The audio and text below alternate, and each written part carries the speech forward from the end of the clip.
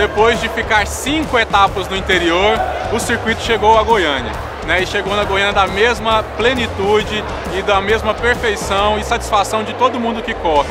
O SESC é conhecido por promover excelentes eventos na área de esporte e lazer e não seria diferente aqui em Goiânia. Tivemos mil inscritos, todo mundo terminando o circuito e terminando bem, sempre assistido pelo nosso kit pós, todos os serviços da corrida.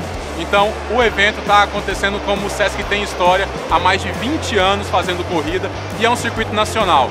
Não é somente aqui, é o Brasil inteiro fazendo este circuito em prol do esporte, em prol da saúde do trabalhador do comércio. Sempre eu dou o meu melhor em todas, então assim, pra mim, eu tô assim ó, feliz demais por ter conseguido o primeiro lugar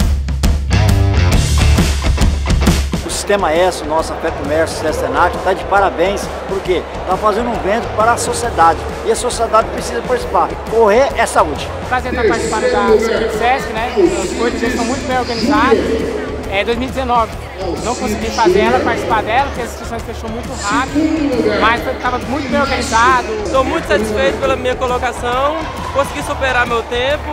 É, tô, quero agradecer demais também a organização, Circuito SES está de parabéns pela organização. Muito bom, tanto parabéns. Estou feliz por participar deste evento aqui, apoiando, representando inclusive o nosso diretor regional Leopoldo Veiga Jardim. Parabéns para a unidade, parabéns para o SESC Goiás, parabéns para essa gestão e parabéns, acima de tudo, para todos aqueles que estão participando desse magnífico evento, que são os atletas.